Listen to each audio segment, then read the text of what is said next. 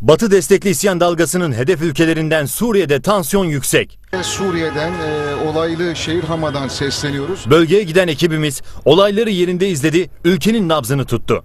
Diyalog programı yapımcısı ve Yeni Mesaj gazetesi yazarı Muharrem Bayraktar ve kameraman Mehmet Akbal, Hama kentinde olayların çıktığı bölgelerde incelemelerde bulundu. Bura tam e, Hana'nın, Hama'nın merkezi e, şu anda e, trafik akıyor. İnsanlar normal hayatına devam ediyor. Dükkanlar açılmış bir durumda. E, karşıda e, halk yığınları e, kalabalık bir şekilde bekliyor. Yani şu anda Hama'da normal bir vatandaş buraya geldiği zaman bir süre önce burada kanlı günlerin yaşandığı bir şehirde olduğumuzu anlaması çok zor. İlk dikkat çeken büyük bir dezenformasyonun yaşandığı oldu. Şunun altını çizmek lazım. Buradaki olaylar dünya kamuoyuna objektif olarak anlatılmıyor. Tek yanlı olarak anlatılıyor. Çok büyük bir kirlilik var. Ee, bu kirliliği gidermek için biz buradayız. Ee, özellikle Batı yanlısı haberler ve ajanslar burada Suriye askerlerinin ve polislerinin maruz kaldırdığı saldırıyı, dükkanların, evlerin e, tahrip edildiğini e, maalesef gizliyorlar. Ülkede yaşanan olaylar isyan dalgasını organize eden Batı kontrolündeki medya tarafından çarpıtılarak kamuoyuna aktarılıyor. ve devlet dairelerindeki e, görevlere saldırıyorlar ve buradaki polisleri ve askerleri etkisiz hale getiriyorlar. Çoğunu öldürüyorlar. Ve üç gün e, Hama tamamen e, teröristlerin eline geçiyor. Üç gün boyunca. E, üçüncü günden sonra Suriye e, ordusu Üçüncü günden sonra Suriye ordusu buraya giriyor ve biz işte televizyonlardan Suriye ordusunun şehre giriş görüntülerini izledik. E, ordu şehre girdik, girdi diye izledik. Oysa günlerce dünya gündeminde yer alan Hama kentinde isyancılar büyük bir tahribata imza atmış.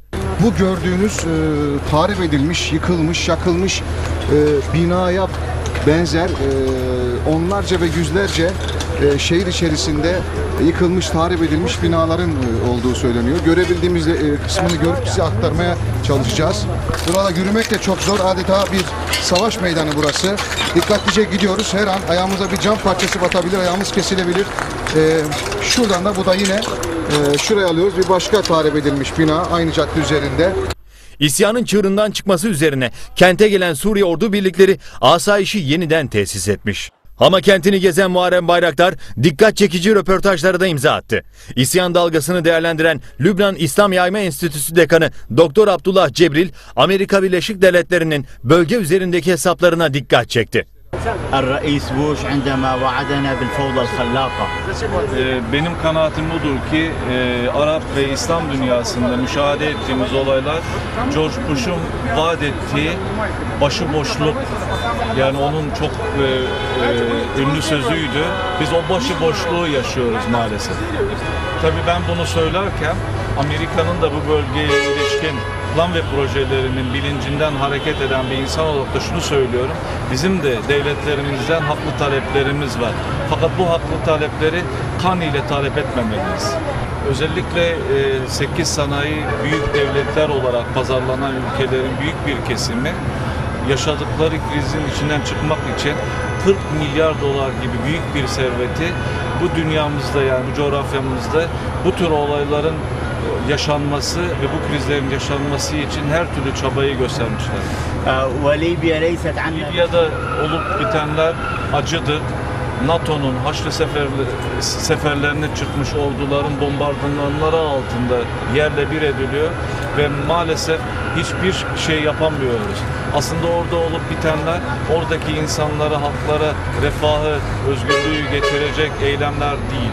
Bunu çok yakın bir zamanda hepimiz pişman olarak da göreceğiz.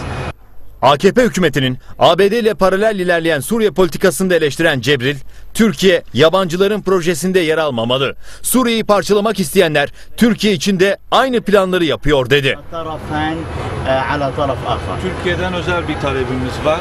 Türkiye kesinlikle bu bölgede olup bitenlerde taraf olmamalı. Yabancıların projelerinde yer alarak bu ülkelerin işlerine hiçbir şekilde müdahale etmemeli. آه، ونحن كذلك نخاف على تركيا Biz a- ayrıca e, gerçekten Türkiye için de korkuyoruz. Çünkü bu devletler bizi parçalamaya gelen devletler Türkiye'yi de parçalamak için and içtiler. فنحن بيننا وبين Biz Türkiye ile ortak bir tarihi, ortak bir dini, ortak bir coğrafyayı paylaşıyoruz. Bu anlamda bu bölgede olup bitenler Türkiye'ye de nüksedecektir. Türkiye'de olup bitenler bizi de ilgilendirmektedir. Biz kendi sorunlarımızı beraber oturup halletmeliyiz. Başka yabancı ellerin kendi meselelerimize el atmalarına müsaade etmemeliyiz. فعلى شعوبنا جميع Sykes, Sykes-Picot bu bölgeyi paramparça etti. Yeni bir Sykes-Picot projesiyle karşı karşıyayız. Bu insanlar, bu devletler bu bölgeyi e, paramparça etmeye geliyorlar. Bu anlamıyla e, İranlılar, Türkler, Araplar olarak bu konuya çok duyarlı olmalı, el ele vermeli ve bu bizi paramparça etmeye gelen projeyi buradan def etmeliyiz. وأرسل سلامي لجميع الأخوة الأتراك